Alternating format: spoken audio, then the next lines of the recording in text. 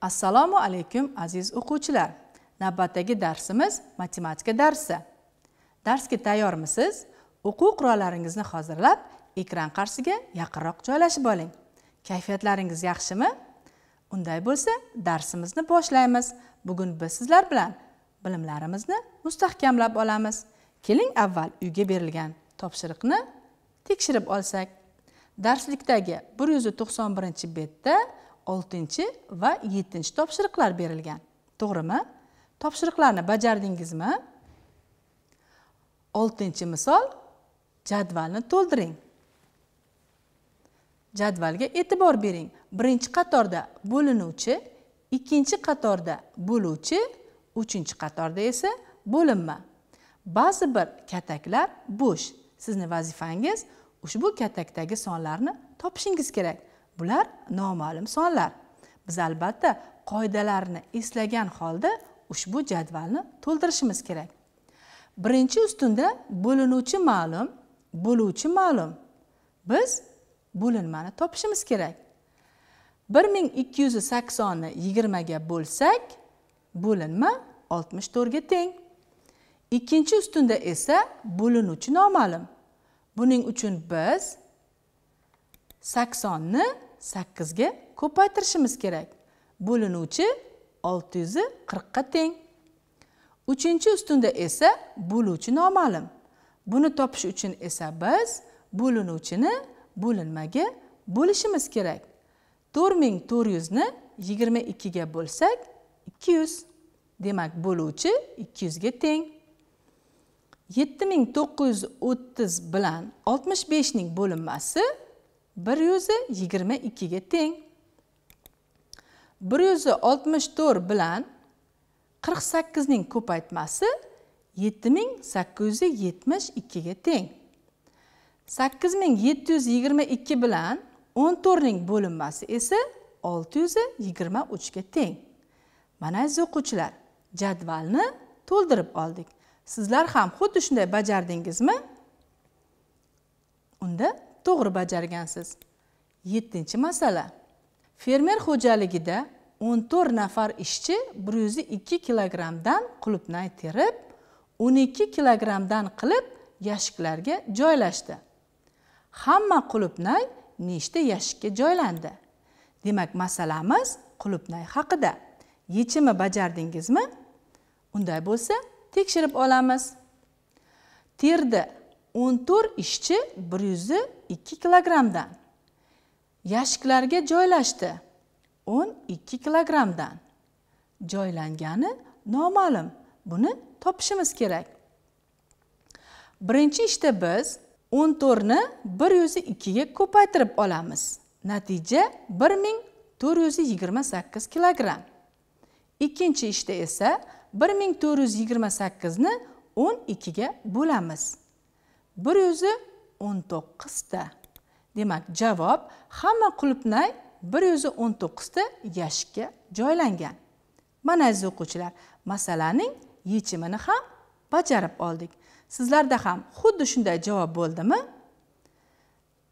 Agar xatolikka yo'l qo'ygan bo'lsangiz albatta darhol tuzatib oling.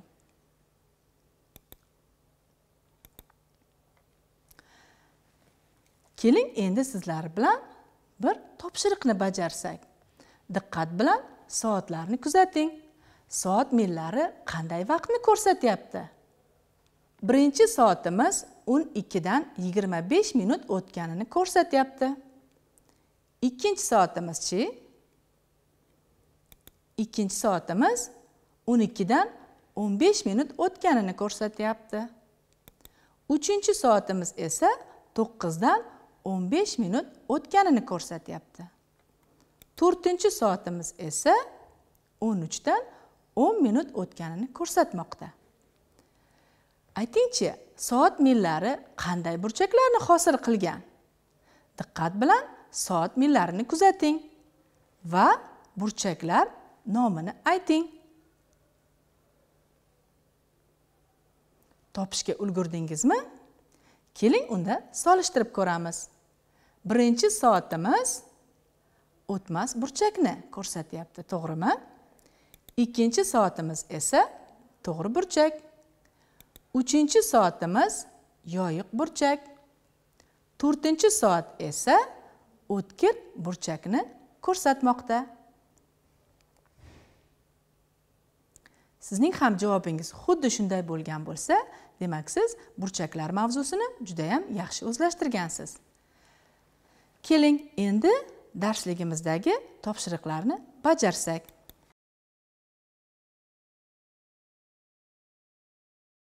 Birinchi topshiriq. D bo'luvsi harfli ifodaning qiymatini toping. Demak d uch ming sakson beshga teng.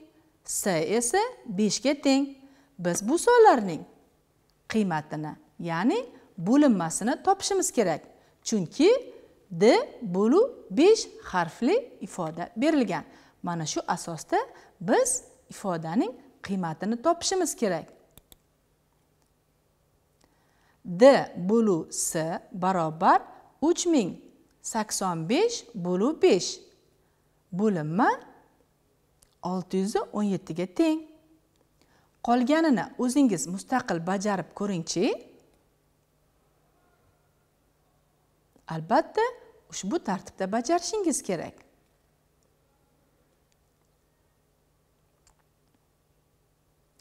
Bajarishga ulgurgan bo'lsangiz tekshirib olamiz. Ikkinchi ifodamiz to'rt ming ikki yuz yetmish bo'lu yetti bo'linma olti yuz o'nga teng.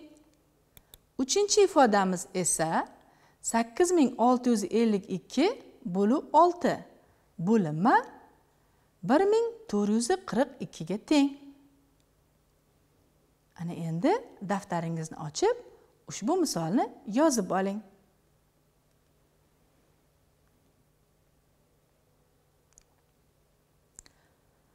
Yozishga ulgurgan bo'lsangiz darsligimizdagi ikkinchi topshiriqni ko'rib chiqamiz. Tomoni to'rt santimetr bo'lgan kvadrat chizing. Qarama qarshi burchaklarini tutashtiruvchi kesma o'tkazing. Qaysi turdagi burchaklar hosil bo'ladi? Kvadratning yuzini toping. Mana aziz o'quvchilar biz tomonlari to'rt santimetr bo'lgan kvadratni chizib oldik.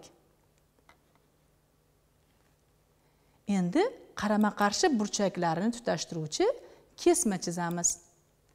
Mana kesmalarni ham chizib oldik. Aytingchi uchburchaklar hosil bo'ldimi? Nechta uchburchak hosil bo'ldi? Ular qanday uchburchaklar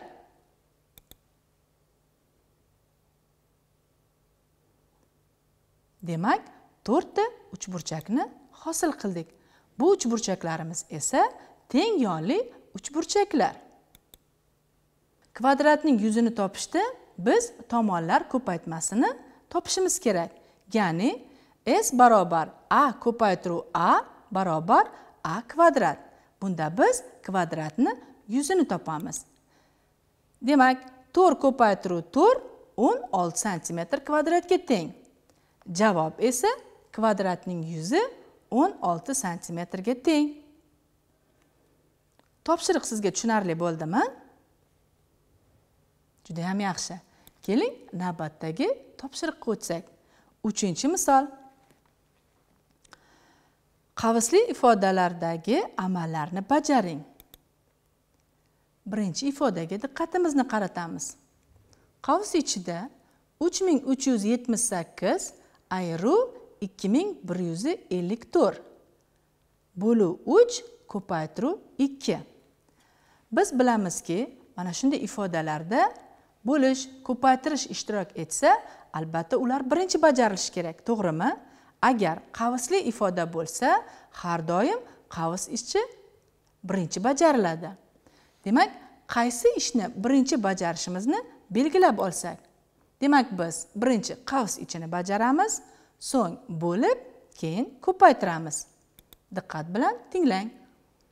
Demak uch ming uch yuz yetmish sakkiz bilan ikki ming bir yuz ellik to'rtning ayirmasi bir ming ikki yuz yigirma to'rtga teng.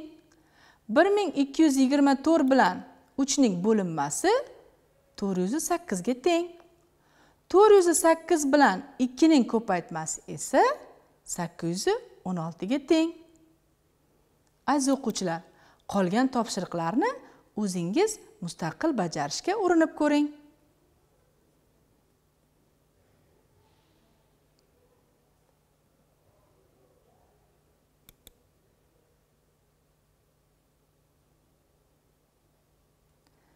Bajarishga ulgurgan bo'lsangiz endi tekshirib oling.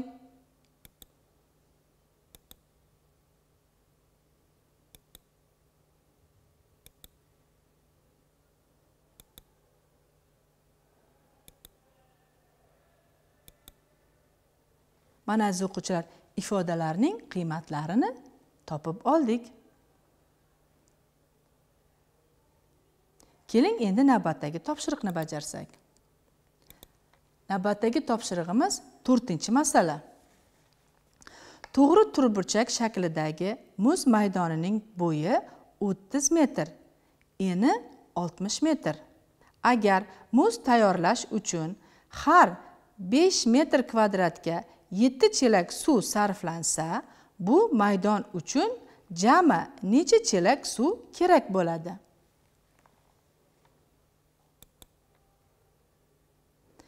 Demak ushbu maydonimizning bo'yi o'ttiz eni oltmish metrdan iborat.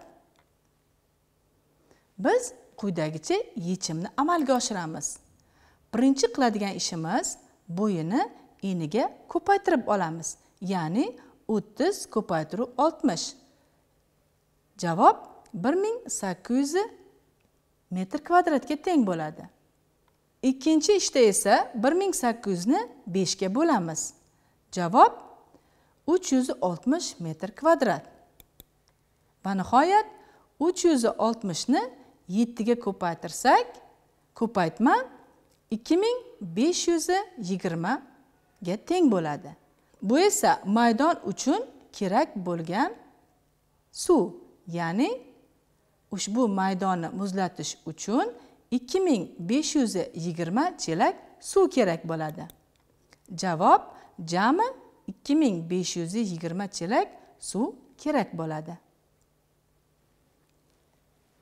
Masala sizga tushunarli bo'ldimi? Keling endi navbatdagi topshiriqni bajarsak. Navbatdagi topshirig'imiz bosh qotirma. Diqqat bilan tinglang. Berilgan shaklni ikkiga shunday ajratingki hosil bo'lgan shakllar bir xil bo'lsin. Shaklga diqqat bilan e'tibor bering. Uni qanday ikkiga ajratsak ikkala shakl bir xil bo'ladi. Topishga ulgurdingizmi? Unday bo'lsa diqqat bilan kuzatib tekshirib olamiz.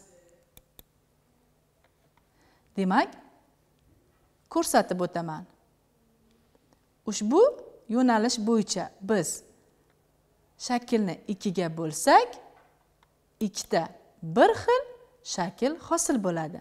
Demak birinchi shaklimizda ham beshta katakcha ikkinchi shaklimizda ham beshta katakcha hosil bo'ldi. Sizga tushunarli bo'ldimi? Juda yam yaxshi. Keling endi darsimizga yakun yasab sizlarga mustaqil topshiriq bersam. Bir yuz to'qson ikkinchi betdagi oltinchi va yettinchi topshiriqlar. Oltinchi misol tenglamalarni yeching. Diqqat bilan tinglang. Ushbu tenglamamiz murakkab tenglama demak biz bo'luvchini topishimiz kerak. Buning uchun esa biz nima qilamiz? Keling sizlarga birinchi tenglamani yechish usulini ko'rsatib o'tsam. Diqqat bilan kuzating. Biz avval besh yuz yetmish bo'lu x barobar uch yuz ellik to'rt ayru 297 yuz to'qson yetti besh yuz yetmish bo'lu x barobar ellik yetti. Ellik yetti demak uch yuz ellik to'rt bilan 297 ning ayirmasi 57 ga teng. Diqqat qiling demak biz sodda tenglamani hosil qilib oldik. Biz nimani topishimiz kerak? Bo'luvchini topishimiz kerak. Bo'luvchini topish uchun esa bo'linuvchini bo'linmaga bo'lishimiz kerak. X barobar 570 bo'lu 57 bo'linma 10 ga teng. Demak, noma'lum sonimiz, ya'ni x 10 ga teng. Tekshirib olamiz. 570 bo'lu 10 qo'shuv 297. Javob 354. Tenglik esa 354 barobar 354. Mana aziz o'quvchilar men sizlarga birinchi tenglamani yechilish usulini tushuntirib o'tdim. Siz ikkinchi tenglamani o'zingiz xuddi shu tartibda mustaqil bajarishingiz kerak. Topshiriq tushunarlimi? Yettinchi masala. Parranda fabrikasi do'konlarga olti ming dona tuxum yetkazib berishi kerak. Har birida uch yuz ellik dona bo'lgan o'nta yashik va har birida bir yuz ellik dona bo'lgan to'rtta yashik tuxum jo'natildi. Do'konlarga yana qancha tuxum yetkazib berilishi kerak? Mana aziz o'quvchilar masalamiz tuxumlar haqida ekan. O'ylaymanki masala sizga tushunarli. Buni yechishda aslo qiynalmaysiz. Topshiriqlar sizga tushunarli bo'lsa endi darsimizga yakun yasab sizlar bilan xayrlashamiz. Xayr salomat bo'ling.